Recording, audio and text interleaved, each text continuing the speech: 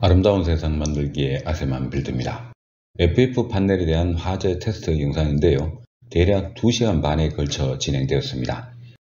두 대의 토치가 FF 판넬 벽체에 직접적인 열을 가하고 있는데요. 과연 몇 도까지 올라갔을까요? 2시간 반 뒤에 정품 FF 판넬은 어떻게 변화했을까 궁금하시죠?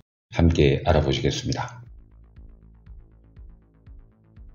부탄가스를 통해 토치 열을 가한 지 1시간 6분이 넘는 시각의 상황입니다. 미니어처와 가백의 온도 변화는 어떤지 보겠습니다. 현재 시각은 미니어처 내부에 설치된 디지털 온도계 시각은 오후 3시 37분, 실내 온도는 30.6도, 습도는 51%를 가리키고 있고 햇살이 비치는 실내에 설치된 디지털 온도계는 오후 3시 38분, 온도는 30.5도, 습도는 51%대를 유지하고 있습니다. 이 상황에서 다양한 지점의 온도를 측정해 보겠습니다. 한여름 햇살이 비치는 정품 FF 판넬 외부 벽체의 온도는 39.8도입니다. 토치로 가열되는 중심부 온도는 574도가 찍혔는데요. 조금 전에 보았던 벽체와 무려 530도의 온도 차이가 납니다. 온도 측정기가 빨간 중심부를 벗어나면 급격히 낮아지기도 하지만 평균치는 알 수 있습니다. 이번에는 501도를 가리키고 있습니다.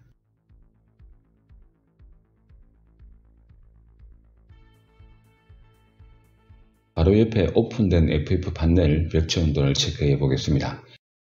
외벽체 자체의 온도는 44도입니다. 토치가 가해지는 불꽃 중심은 333도 안팎을 보여주고 있습니다. 이번에는 후면에서 온도를 측정해 보겠습니다. 77도에서 68도까지 조금씩 차이는 있습니다. 토치 중심과 관계가 없는 곳은 38도를 가리키는데 이곳은 태양의 직사광선을 받지 않는 그늘진 곳이기 때문에 바로 앞면과 6도 차이를 나타내고 있습니다.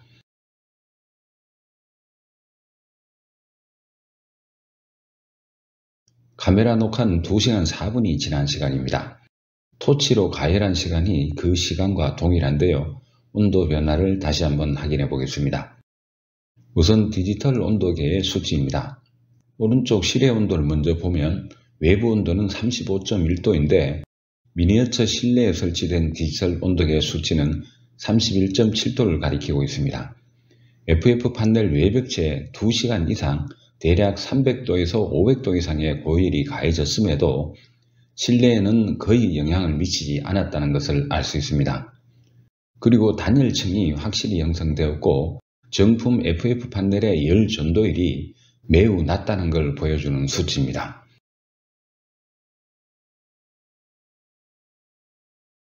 다시 한번 직사광선을 받고 있는 외벽체 온도를 확인해 보겠습니다.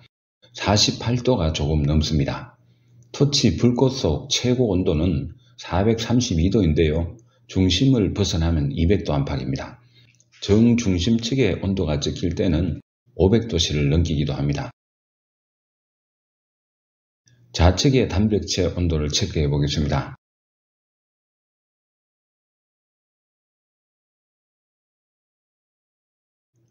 중심부에는 300도, 그 이상 500도 이상을 나타내기도 합니다. 후면의 온도 확인은 생략하면서 2시간 30분 동안 토치로 가열한 FF 판넬을 절단해 보겠습니다. 어떻게 되었을까요? 분화구처럼 일정 폭과 깊이까지 펴여진 모습인데요. 500도 이상의 고열이 2시간 이상 가해졌어도 XPS 심재가 변형되는 과정에서 발화점이 전혀 생기지 않았음을 알 수 있습니다. 단순히 화재에 강하다는 것이 아니라 다른 일반적인 단열재처럼 직접적으로 불이 활활 타오르거나 심재가 녹으면서 불길 또한 번지지 않았습니다. 그리고 유독가스나 그름, 냄새 등이 거의 느낄 수 없을 정도였습니다. 오늘은 정품 FF 판넬 화재 테스트에 대한 영상은 여기까지입니다. 다음 편 화재 테스트 영상은 일반 EPS 단열재와 중불연 단열재, 그리고 저희 아스만 빌드의 정품 FF 판넬을 동시에 터치로 가열한 영상인데요. 다소 충격적인 내용이 포함되었습니다. 다음 편에서 찾아뵙겠습니다.